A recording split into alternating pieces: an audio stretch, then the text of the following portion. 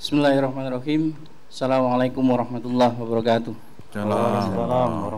Salam sejahtera untuk kita semua yang sama-sama kita hormati dan sama-sama kita banggakan kedua pasangan calon baik nomor urut satu maupun nomor urut dua yang saya hormati sahabat saya sahabat kami semua di KPU eh, Alhamdulillah teman-teman Bawaslu bisa hadir. Terima kasih. Kemudian saya perlu juga menyapa yang saya hormati bapak-bapak panelis. Alhamdulillah bisa hadir di tengah-tengah kita. Kemudian juga tidak lupa saya menyapa ketua dan anggota tim kampanye dari kedua pasangan calon. Kemudian tentu kami juga perlu menyapa kolega, sahabat, dan teman-teman seperjuangan kami di KPU Kota Blitar. Ada teman-teman komisioner yang hari ini hadir empat orang bersama saya dan satu masih ada tugas. Bapak Ibu sekalian yang saya hormati, tentu tidak elok hari ini kalau kita tidak mengungkap rasa syukur, mengucap rasa syukur kehadirat Allah Subhanahu wa taala karena tentu hari ini menjadi hari istimewa. Tidak hanya karena hari ini merupakan debat kedua tetapi momentum hari ini tepat bertepatan dengan tanggal 10 November. Tepat hari pahlawan. Tentu kita tahu semua. Dan tentu ini menjadi momentum kedua bagi kami di Kota Blitar, KPU Kota Blitar menyelenggarakan debat ini dan insya Allah nanti e, tema kali ini adalah tentang tata kelola pemerintahan. Nah kami mengucapkan terima kasih kepada seluruh pihak yang telah membantu pelaksanaan kegiatan debat kedua yang kita selenggarakan di studio ini dan tentu kami juga mohon maaf apabila dalam pelaksanaan ada yang kurang berkenan, ada yang kurang nyaman, tentu itu bagian dari kekhilafan dan kealpaan kami. Saya kira itu yang bisa saya sampaikan. Mudah-mudahan pelaksanaan debat kali ini bisa berjalan dengan lancar dan kami mengingatkan hari ini 28 hari lagi menuju 9 Desember untuk para pemilih seluruh para, para pemilih di Kota Blitar, masyarakat Kota Blitar. Jangan lupa tanggal 9 Desember mari kita ramai-ramai menuju TPS untuk menggunakan hak pilih kita. Dan tidak perlu khawatir, tidak perlu takut karena salah satu tempat aman itu adalah TPS karena kita menerapkan protokol kesehatan. Terima kasih. Assalamualaikum warahmatullahi wabarakatuh. Salam warahmatullahi wabarakatuh. Pemilihan Wali Kota Blitar tahun 2020 diikuti dua pasangan calon. Pasangan nomor urut 1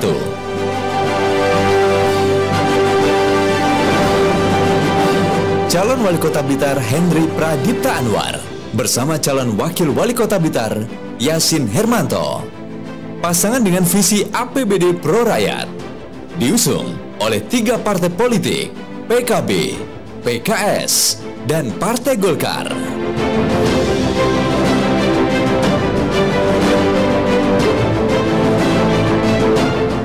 Pasangan nomor urut 2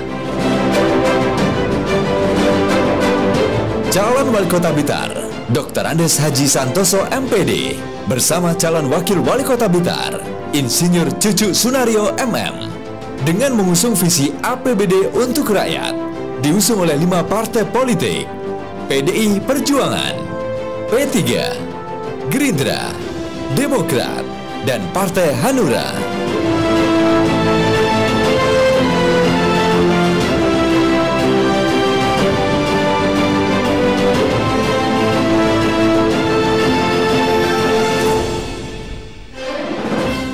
Baik, saya akan bacakan pertanyaan untuk paslon nomor urut 2. Merujuk data profil kesehatan Kota Blitar 2019, di mana dalam aspek sarana kesehatan lainnya menunjukkan jumlah praktik pengobatan tradisional yaitu 439.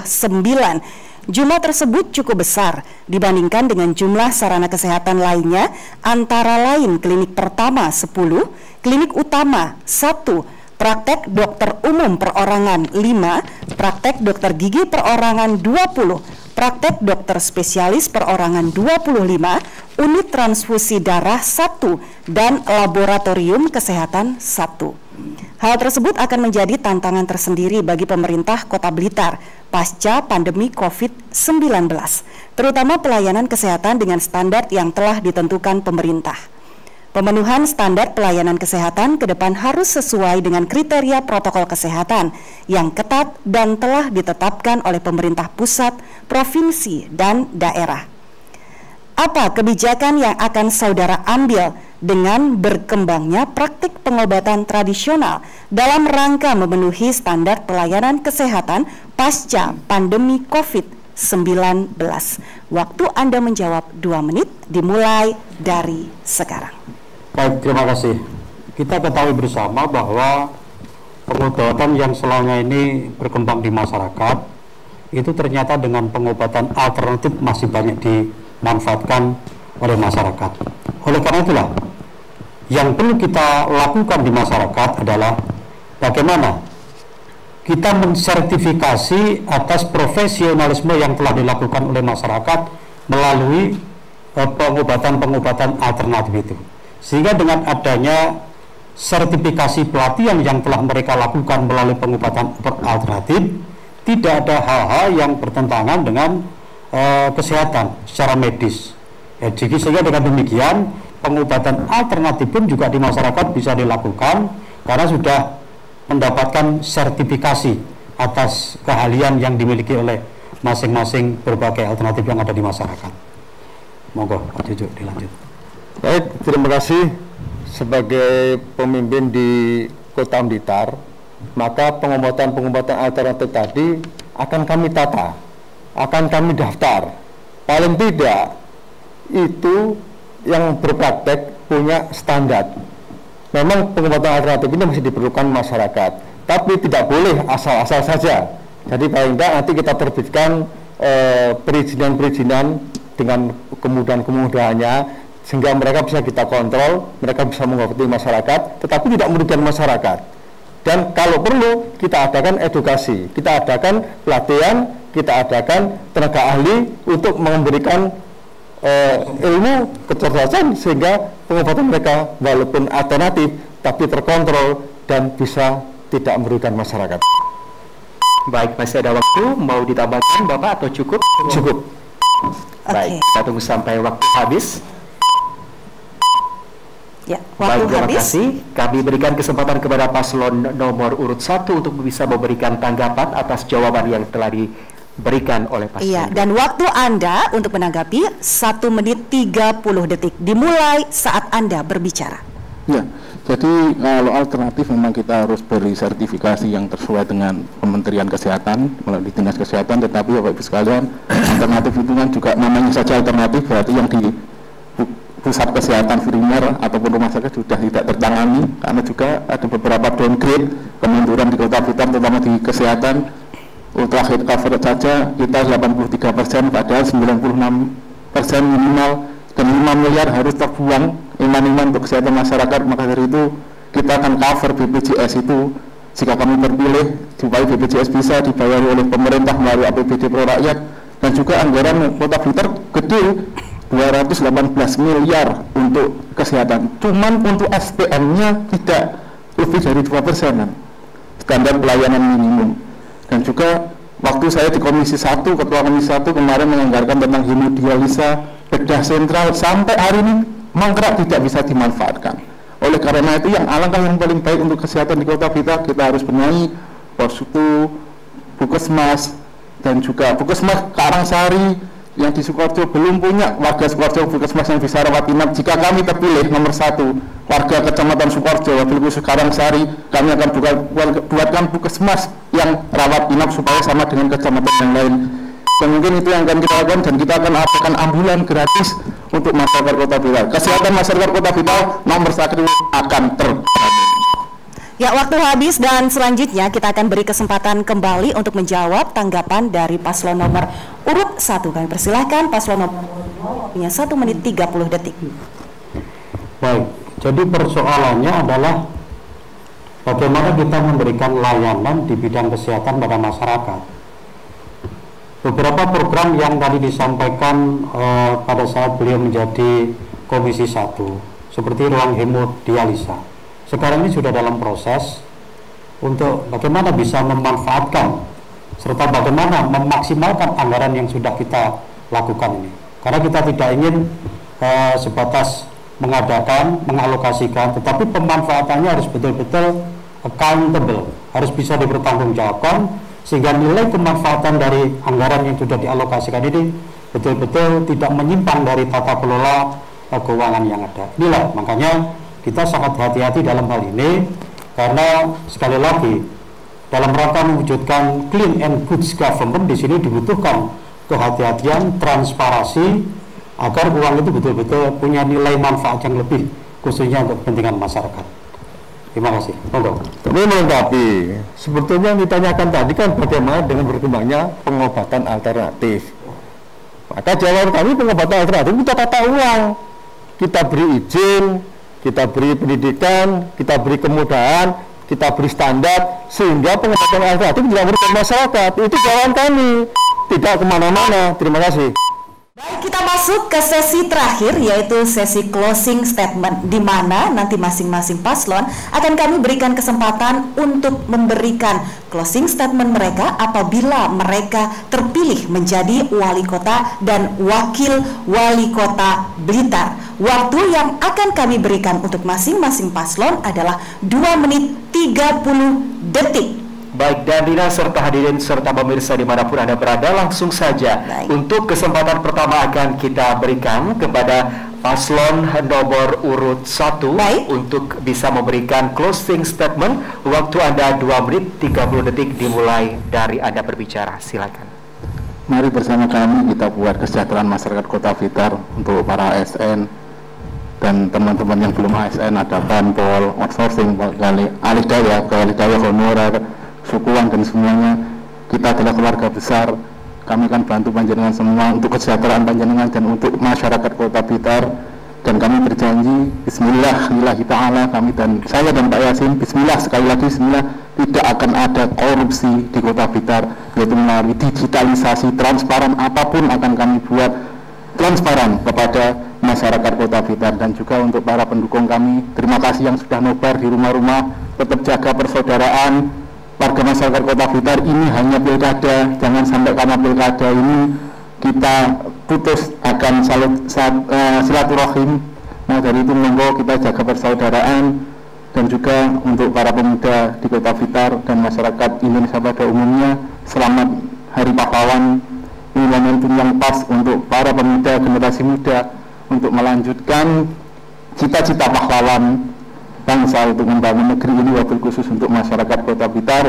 Seperti kata Bung Karno beri, beri kami 10 pemuda niscaya, niscaya akan guguncang dunia. Mungkin kami masyarakat pemuda kota Blitar insya Allah merupakan salah satu yang dimaksud oleh pendiri bangsa yaitu Bung Karno. Salam santun dari kami. Jangan seperti Siva ya Pak.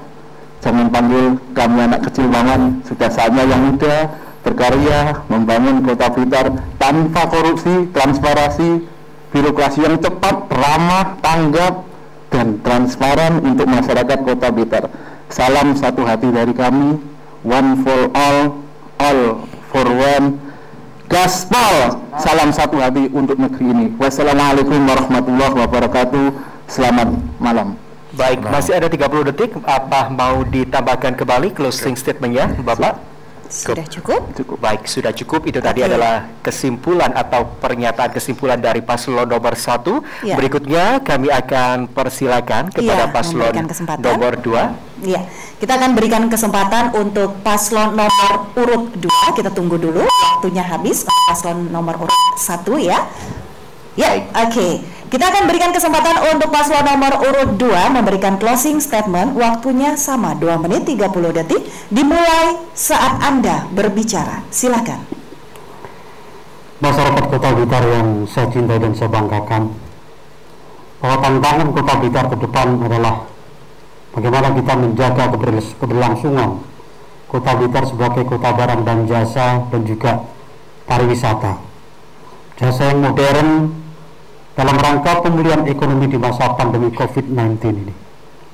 Dengan memahami konteks permasalahan ini, maka perlu mewujudkan Blitar sebagai kota religius dan nasionalis yang unggul, tangguh, modern, kreatif, dan inovatif. Gerak langkah bersama antara pemerintah dan masyarakat yang dilandasi dengan semangat gotong royong inilah sebagai modal sosial budaya. Mari kita bangun pemerintah kota Blitar dengan semangat clean and good government. Baik, kami menambahkan untuk para hadirin dan masyarakat Kota Blitar, pemirsa yang di rumah, seluruhnya yang kami cintai, kita ingin masyarakat Kota Blitar itu berkehidupan yang bahagia. Kita ingin berkehidupan yang mulia, di mana bahagia jauh dari kesusahan dan mulia ada tinggi martabatnya. Untuk itu izinkan saya mengutip Dato Bung Karno, perjuangan kita harus kita dasarkan pada kesucian. Kami percaya bahwa perjuangan suci itu senantiasa mendapat pertolongan dari Allah. Untuk itu kami ingin senantiasa mengutamakan kejujuran, mengutamakan integritas, mengutamakan pemimpin yang Pancasila. Jadi untuk warga Kota Blitar jangan lupa tanggal 9 pilihlah pemimpin yang membawa perubahan. Pemilih, pilihlah pemimpin yang jujur, pilihlah pemimpin yang punya nama baik, pilihlah pemimpin yang berintegritas. Dan jangan lupa tanggal 9 pilihlah kami pasangan nomor urut 2. Baik, waktunya masih ada? Perlu saya tambahkan bahwa kesucian yang dimaksud mengutip dengan pidato Bung Karno itu adalah harus ada kesamaan antara ucapan dan tindakan kita dalam kehidupan sehari-hari. Kalau itu bisa kita lakukan, insya Allah konsep yang kita harapkan clean and good government itu Waktu habis, terima kasih. Kami mohon memberikan semangat untuk kedua paslon ya. Paslon nomor urut 1 dan juga paslon nomor urut 2 telah menyampaikan closing statementnya apabila mereka nantinya terpilih menjadi wali kota dan juga wakil wali kota Blitar. Ya, Rina dan juga hadirin serta pemirsa kita sudah melalui kelima segmen dalam debat publik putaran ya. kedua pemilihan wali kota dan wakil wali kota Blitar 2020. Untuk itu kami persilakan kepada kedua pasangan calon untuk bisa saling saling memberikan salam ya tetap ya. menggunakan protokol, protokol kesehatan, kesehatan di tengah pandemi COVID-19 sebagai simbol pilkada damai. Damai dan menjaga protokol kesehatan.